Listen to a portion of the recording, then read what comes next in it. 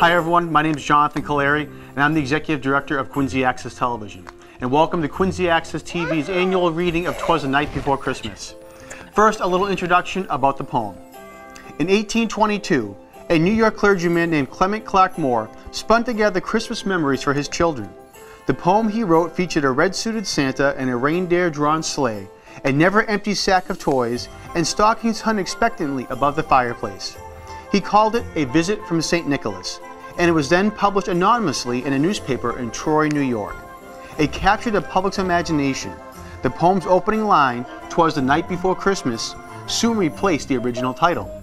One reason Moore's poem has endured is that it is a joy to read aloud.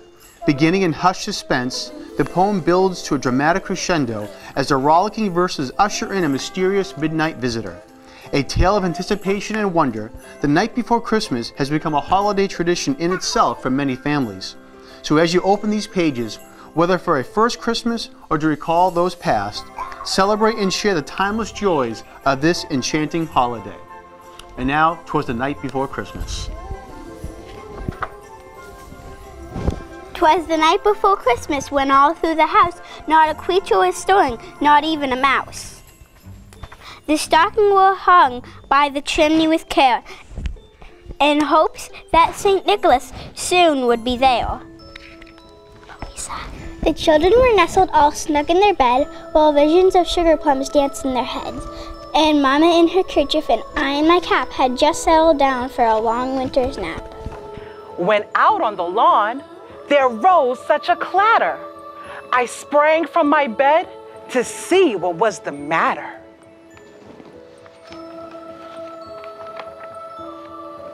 Away to the window, I flew like a flash, tore open the shutters, and threw up the stash. The moon on the breast of the new fallen snow gave a luster of midday to objects below. When, what to my wondering eyes should appear but a miniature sleigh and eight tiny reindeer? With the little old drivers so lively and quick, I knew in a moment it must be St. Nick. More rapid than eagles his courses they came, then he whistled and shouted and called them by name. Now Dasher, now Dancer, now Prancer and Vixen, on Comet, on Cupid, on Donder and Blitzen. To the top of the porch, to the top of the wall. Now dash away, dash away, dash away all.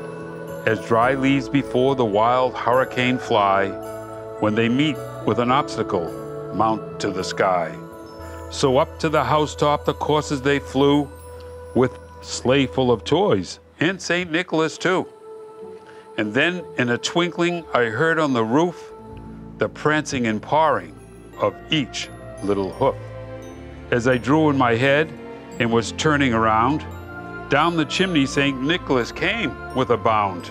He was dressed all in fur from his head to his foot, and his clothes were all tarnished with ashes and soot. A bundle of toys he held flung on his back. He looked like a peddler just opening his pack. His eyes were how they twinkled, his dimples how merry, his cheeks were like roses, his nose like a cherry. He was drew little mouth was drawn up like a bow, and beard to his chin, and it was as white as snow. The stump of a pipe he held tight in his teeth, and the smoke it encircled his head like a wreath. He had a broad face and a little round belly that shook when he laughed like a bowl full of jelly. He was chubby and plump, a right jolly old elf, and I laughed when I saw him in spite of myself. A wink of his eye and a twist of his head soon gave me to know I had nothing to dread. He spoke not a word, but went straight to his work and filled all the stockings then turn with a jerk and laying his finger aside on his nose and giving another up the chimney, he rose.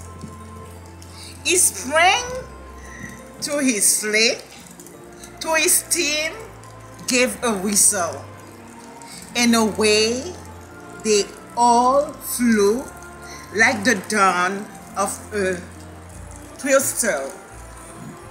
But I heard him exclaim, here it drove out of sight.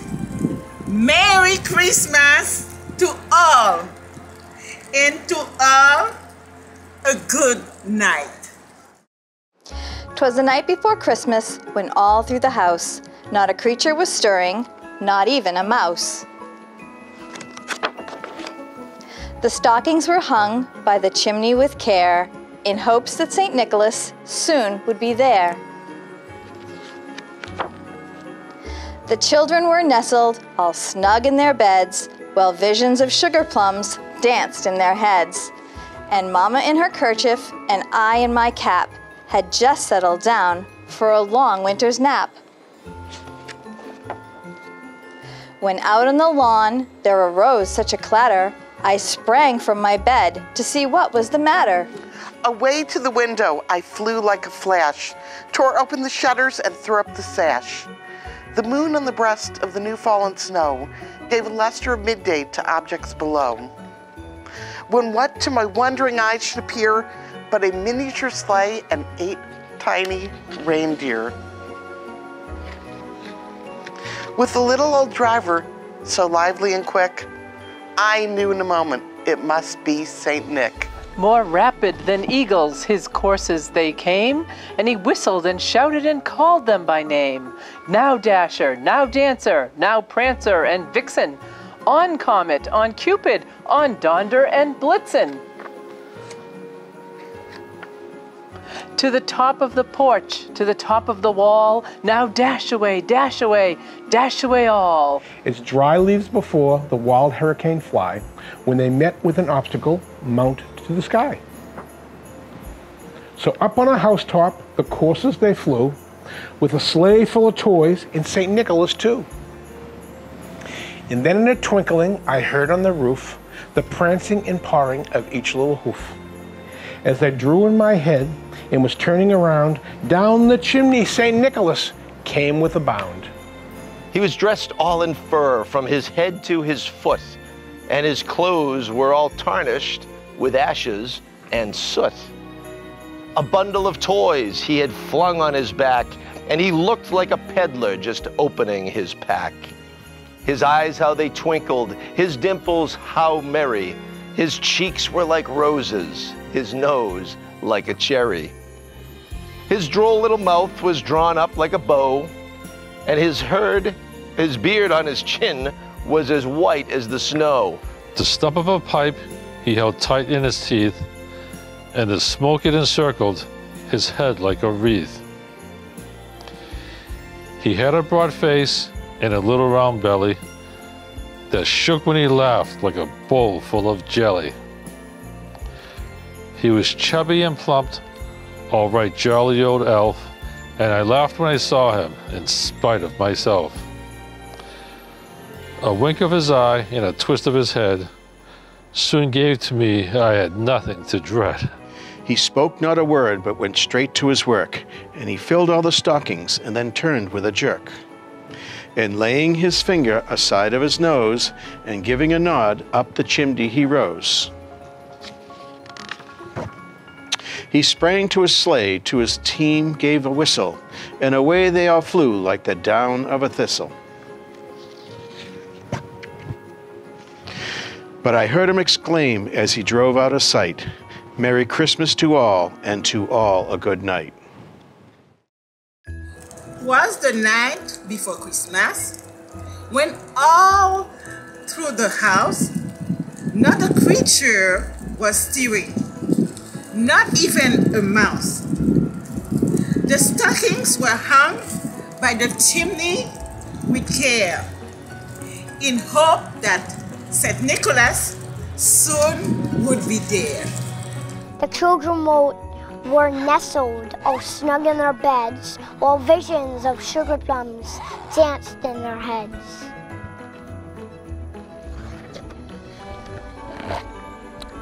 And Mama in her handkerchief, and me and my cat had just settled down for a long winter's nap.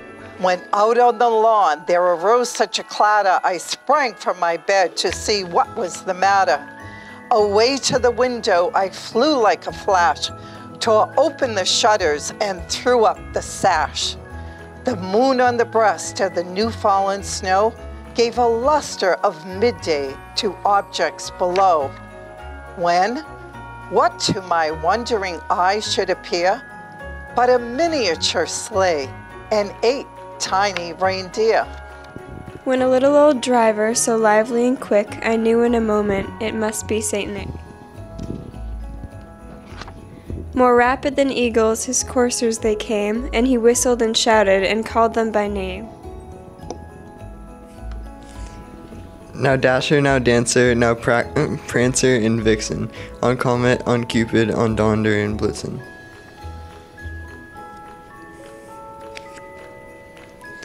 To the top of the porch, at, to the top of the wall. Now dash away, dash away, dash away all. As dry leaves before the wild hurricane fly, when they met with an obstacle, mount to the sky. So up to the housetop the coursers they flew, with sleigh full of toys, and St. Nicholas too. And then in a twinkling I heard on the roof the prancing and pawing of each little hoof. As I drew in my head and was turning around, down the chimney St. Nicholas came with a bound. He was dressed all in fur, from head to his foot, and his clothes were all tarnished with ashes and soot. A bundle of toys he had flung on his back, and he looked like a peddler just opened his pack. His eyes, how they twinkled, his dimples, how merry. His cheeks were like roses, his nose like a cherry. His droll little mouth was drawn up like a bow, and the beard to his chin as white as the snow. The stump of a pipe he held tight in his teeth, and the smoke it encircled his head like a wreath. He had a broad face and a little round belly that shook when he laughed like a bowl full of jelly. He was chubby and plump, a right jolly old elf, and I laughed when I saw him in spite of myself. A wink of his eye and a twist of his head soon gave me to know I had nothing to dread. He spoke not a word, but went straight to his work and filled all the stockings, then turned with a jerk, and Lane. laying his finger side of his nose and gave, gave giving a nod up the chimney he rose. He sprang to his sleigh, to his team gave a whistle, and away they all flew like the down of a thistle. But I heard him explain, exclaim as he drove out of sight, Merry Christmas to all, and to all a good night. Can you wave? You say bye. Bye. Merry Christmas. Merry Christmas. Merry Christmas Merry to all. Christmas. Hi, everyone. I'd like to wish everyone a Merry Christmas and a Happy New Year. And I hope that everyone has a great time. And I'm looking forward to seeing you sometime in 2022. Good night. Merry, Christmas. Let's go, Santa.